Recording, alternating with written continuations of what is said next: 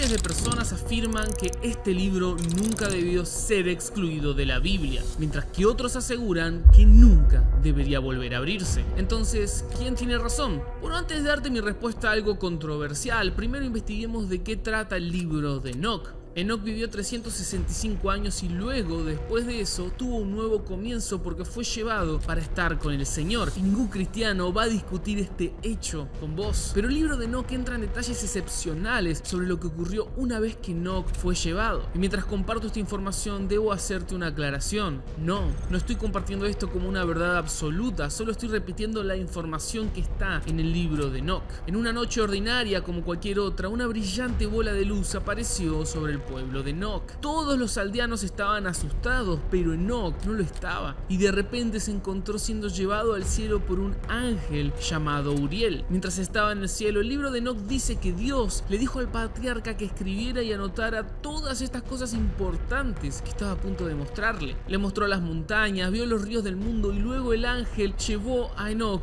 en un recorrido por el universo. Vio cómo los seres celestiales podían ser transportados, vio el sistema solar, vio el ciclo lunar vio cómo la longitud de la órbita de la Tierra es de 365 días y esta es la razón por la que muchas personas creen que el libro de Enoch debe tener cierto peso, porque la mayoría de estos descubrimientos científicos no se habían encontrado cuando el libro fue escrito en el 300 antes de Cristo. Pero pará, no quiero que olvides que hay dos grandes inconsistencias en el libro de Enoch que contradicen la Biblia y antes de revelarte esas dos cosas primero, veamos por qué es famoso este libro. En el primer libro de la Biblia, Génesis, leemos esto. Había gigantes en la tierra en aquellos días, y también después, cuando los hijos de Dios se unieron con las hijas de los hombres y les dieron hijos. Estos fueron los valientes que desde la antigüedad fueron varones de renombre. Me pregunto cuántos de ustedes estaban alrededor de hace tres años cuando hice este video sobre por qué creo que este pasaje de la Biblia enseña que los hijos de Dios son en realidad seres angelicales y que estos seres angelicales miraron desde el cielo y vieron que las mujeres de la tierra eran hermosas. Así que entraron y tuvieron relaciones con ellas y de ellas salieron hijos que eran parte hombre y parte ángel. Estos seres híbridos eran como gigantes en tamaño. Y cuando Dios vio todas estas formas malvadas, se enojó mucho y derramó su juicio, su agua sobre toda la tierra, sobre todos, excepto Noé y su familia, quienes buscaron y encontraron salvación en el arca. Puedo escuchar exactamente lo que estás pensando en este momento. Vos estás diciendo, David, ¿cómo puede ser esto posible? ¿No dijo el propio Jesús que en el cielo seremos como los ángeles que no nos daremos en matrimonio? Tenés razón, Cristo dijo eso y algún día, en un futuro no muy lejano, mi plan es profundizar en el tema de los gigantes. Así que si querés ver ese video en un par de semanas, asegúrate de suscribirte. Pero ahora, mira esto, porque el libro de Enoch ofrece un relato muy detallado de dónde vinieron los gigantes. Y quiero que escuches este relato, que prestes atención y que luego me digas si crees que es preciso o no. Según el libro de Enoch, Dios pone sobre la tierra a ciertos ángeles para cuidarla. Algunos de estos ángeles eran buenos, pero otros eran malos. Y al igual que el relato bíblico, algunos de estos ángeles malos, estos seres celestiales, se sintieron atraídos por las mujeres de la tierra. Así que estos ángeles bajaron y alteraron el ADN de la humanidad. De hecho, el libro de Enoch sube la vara. Dice que la razón por la que los ángeles se sintieron atraídos por las mujeres es porque tenían el cabello largo y fluido y algunas personas toman ese detalle y creen que eso es a lo que Pablo hacía referencia cuando instruía a las mujeres a cubrirse el cabello mientras rezaban. ¿Qué decirte? Raro. Pero acá está la gran diferencia. El libro de Enoch nos dice que los ángeles tenían un líder, un jefe, y el nombre de ese líder era Semyasa. Y Semyasa era un tipo más bien delgado que dijo, realmente tengo miedo de que ustedes se echen atrás en lo que hemos acordado hacer y que yo sea el único ángel que se meta en problemas con Dios. Así que hagamos un trato. Todos comprometámonos en un juramento de que cometeremos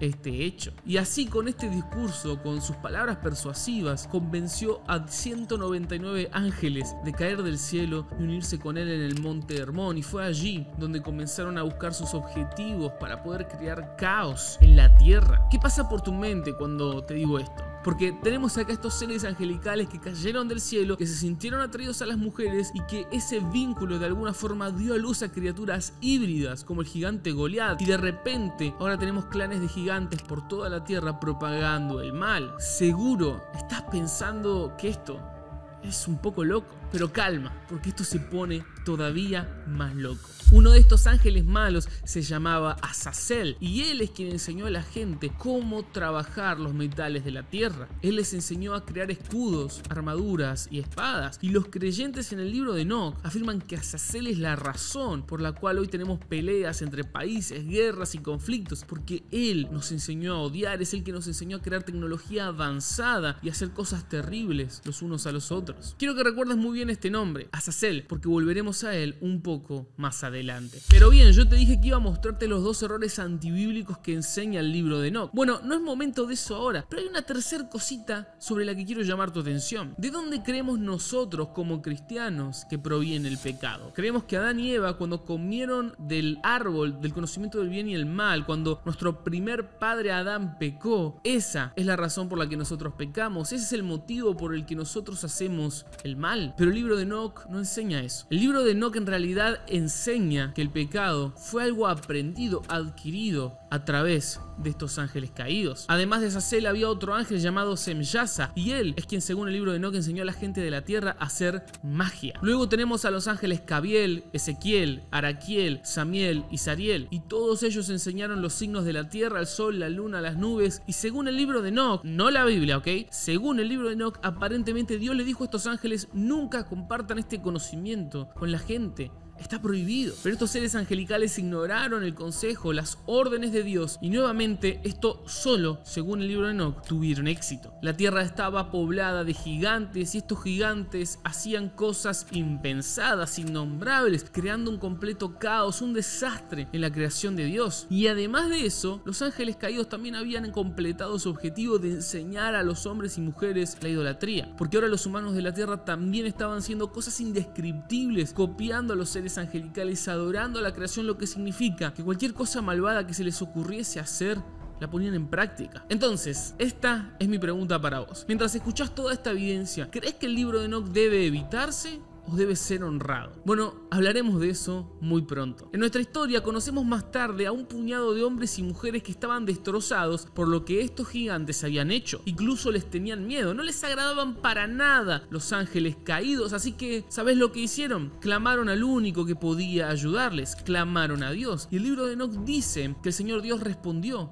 a su clamor. Este antiguo texto luego continúa diciendo que Dios llamó a cuatro de los arcángeles y les pidió que actuaran de inmediato. Primero envió al ángel Uriel advertir a Noé que construyera un arca. ¿Por qué? Porque Dios estaba a punto de inundar toda la tierra para lavar este pecado y cualquiera que se escondiera dentro del arca sería salvado. En segundo lugar, Dios envió a su arcángel Rafael para encerrar a Azazel en la oscuridad. ¿Recuerdan cómo les dije que iba a volver al ángel que enseñó a hombres y mujeres a hacer cosas malas con el metal, el que les enseñó a pelear? Bueno, el libro de Enoch dice que Rafael finalmente lo ató a Azazel de manos y pies y lo echó en un desierto llamado Dudael. Y dice que una vez arrojado este desierto, Azazel quedó cubierto en total oscuridad y que su rostro nunca verá la luz del sol otra vez. Ahora, acá hay una teoría interesante que proponen las personas que creen en el libro de Enoch. Dicen que dado que Azazel fue el ángel que enseñó a hombres y mujeres a pelear y dado que el desierto donde fue desterrado, duda él, está ubicado al este de Jerusalén, podría haber una conexión interesante. Porque al este de Jerusalén hay un río famoso, el río Éufrates. Y sabemos que Apocalipsis profetiza que cuando el río Éufrates se seque, habrá cuatro ángeles caídos atados al fondo del río que serán liberados. Y eso no es todo. Cuando este río finalmente se seque, 200 millones de personas van a marchar para luchar en un gran enfrentamiento en el Valle de Mejido, también conocido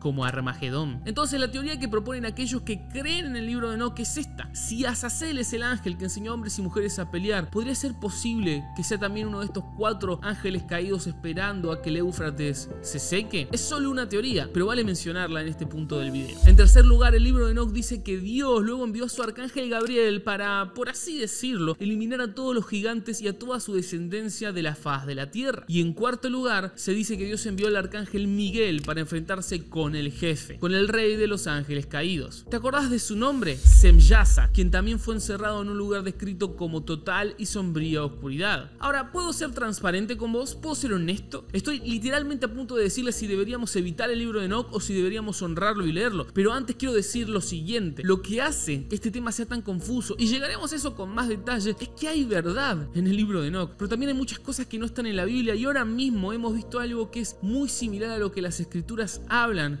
en Apocalipsis 9. Este capítulo habla del abismo y dentro del abismo hay seres sobrenaturales y yo personalmente creo que a medida que la Tierra se acerca a su fin en los últimos tiempos, tal como dice Apocalipsis 9, este abismo se abrirá y estos ángeles malos, seres sobrenaturales serán liberados en la Tierra y las personas que aún estén vivas verán cosas impensables, cosas terribles que no vale la pena mencionar en este momento. El primer gran error antibíblico, por así decirlo, es que el libro de Enoch afirma que vos podés orar al propio Enoch. Noé en el libro de Enoch es descrito como teniendo una apariencia casi angelical. Cuando nació su cabello era tan blanco como la lana y su piel brillaba como el sol. Y de forma inusual, el libro afirma que Noé podía hablar perfectamente, a pesar de que era solo un bebé recién nacido. Ahora, por favor, todos mírenme porque realmente quiero enfatizar en esto. El problema con el libro de Enoch es que toma verdades bíblicas y las mezcla con lo que parecería ser una ficción total. Por ejemplo, sabemos en las escrituras que el padre de Enoch llamaba Matusalén. Esto es un hecho bíblico y sabemos que el padre de Matusalén se llamaba Enoch. Así que en otras palabras, el abuelo de Noé era Enoch.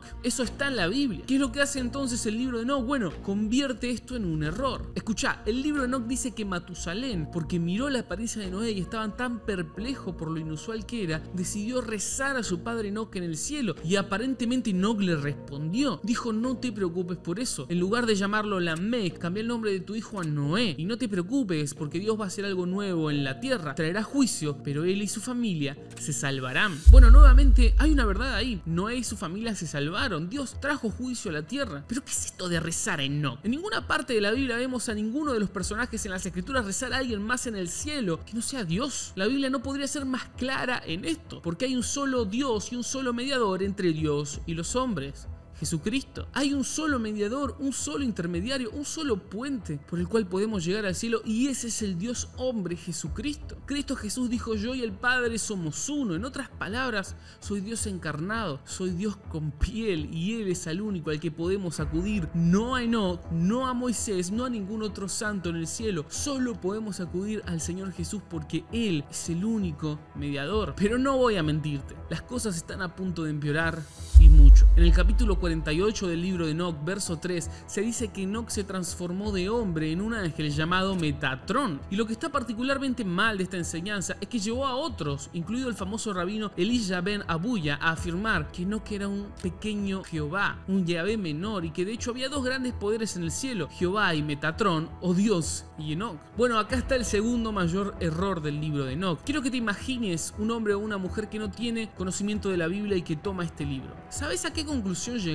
Sin dudas terminarían entendiendo que la salvación solo se puede lograr mediante el conocimiento, siendo justos y siguiendo las palabras del libro de Enoch. Sin embargo, sabemos que cuando leemos la Biblia, nunca, jamás vamos a poder llegar al cielo siendo justos, porque la Biblia dice, no hay justo, ni aún uno. Y el libro de Enoch literalmente dice, para todos ustedes pecadores no habrá salvación. Bueno, tómense un respiro, porque la Biblia dice algo muy diferente. Primera de Timoteo 1.15 dice, palabra fiel y digna de ser recibida por todos, que Cristo Jesús vino al mundo para salvar a los pecadores, de los cuales yo soy el primero. En otras palabras, el hombre que escribió esto, Pablo, aunque había escrito muchas escrituras, aunque había hecho muchísimos actos increíbles, por así decirlo, para Dios, estaba diciendo que era el jefe de los pecadores. Yo no soy más que un pecador con un corazón podrido. ¿Y saben qué? Yo puedo decir exactamente lo mismo. Yo puedo levantar mi mano y decir que también soy el jefe de los pecadores. Solo hay dos tipos de personas que entran al cielo. Personas perfectas y personas perdonadas. Así que te voy a preguntar, ¿vos podés levantar la mano quien quiera que seas y decir soy perfecto? Probablemente no, no puedas. Porque no hay ni siquiera uno que sea justo. Todos fallamos a Dios, incluso en nuestros pensamientos, en los actos que hacemos, incluso cuando ni siquiera estamos tratando de pecar, pecamos. Y si un día los libros se abren y todos podemos ver nuestras vidas y nuestros pecados, vamos a estar de acuerdo en que realmente somos peores de lo que pensamos. Pero la increíble noticia es esta, Cristo Jesús ama a los pecadores. Cristo Jesús ofrece salvación a los pecadores. Él vino al mundo para salvar a los pecadores como vos y como yo y funciona así. En una vieja cruz de madera hace dos mil años, lo peor de mí, todo mi pecado fue puesto sobre él. Y él derramó toda su ira, su juicio por nuestros pecados sobre él, para que podamos ser perdonados, para que vos y yo podamos tener nuestros pecados lavados, arrancados, desaparecidos, enterrados en el fondo del mar para que podamos tener un nuevo comienzo. Así como hablamos de Noé, como a Noé se le indicó que subiera al arca para esconderse de la ira de Dios y estar a salvo, vos y yo tenemos un arca eterna, que es Jesús, y podemos meternos en él, escondernos en él y tener seguridad total porque Él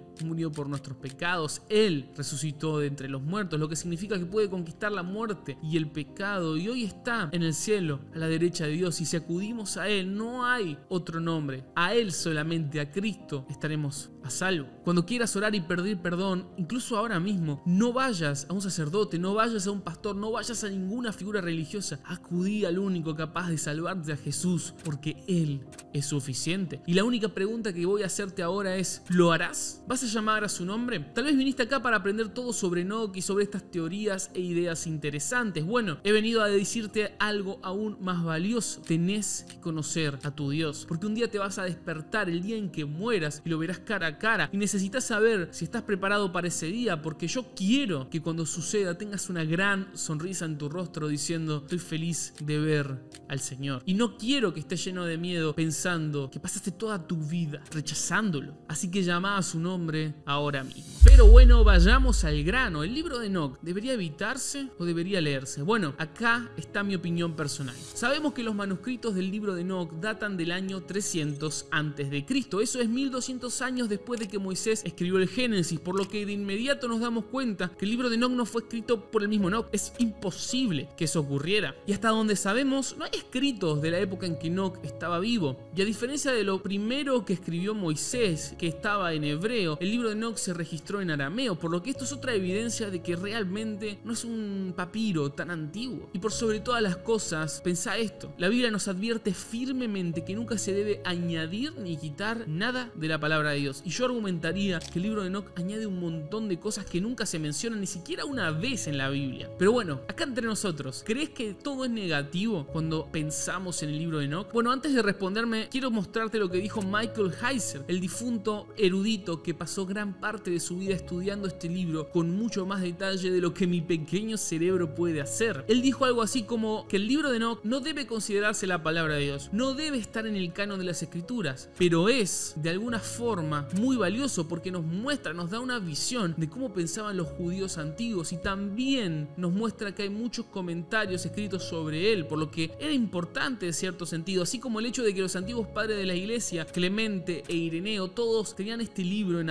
estima y lo veían como una parte importante de la historia. También es cierto, sé que algunos de ustedes ya lo habrán comentado, David, no olvides esto, no habla Judas del libro de Enoch. Y sí, tenés razón, también es verdad que cuando se descubrieron los rollos del mar muerto, el manuscrito del libro de Enoch estaba ahí al lado, por lo que también eso aumenta su credibilidad, ¿no? En cierto sentido sí, y como yo dije al principio, hay elementos de verdad en el libro de Enoch, y hay historia en él que debe aprovecharse, pero en realidad lo que quiero decir desde mi corazón es que si un creyente joven se acerca a mí y me pregunta, ¿debo leer el libro de Enoch? Yo probablemente le diría, por favor, tené cuidado. Y la razón por la que le diría eso es porque realmente creo que Dios es bueno, que Dios se preocupa por sus hijos y cuando la Biblia fue reunida, yo no creo que él haya estado en una nube lejana dejando todo librado a la opinión de las personas. No, de verdad pienso que él de alguna forma guió sus mentes y corazones y los reunió para darnos la información exacta que necesitamos, sabiendo que este libro, que la Biblia, sería el más vendido y difundido de la tierra. Por lo que no pienso que le falte ninguna información clave. Pero amigo, escúchame bien, la Biblia que tenemos es profunda o no. Hay misterios en ella que mi pequeño cerebro, aún con 10 millones de vidas, no entendería jamás. Así quiero pasar mi tiempo buscando las escrituras, entendiendo lo que la palabra de Dios tiene para decirnos. En lugar de buscar respuestas en un libro que parece predicar un evangelio bastante diferente, aunque pueda tener chispas de verdad por acá y por allá. Así que creo que el mensaje es abran sus Biblias y pasen tiempo con las verdades simples y sólidas que necesitamos en nuestros corazones. Jesús murió, resucitó de los muertos y esa enseñanza es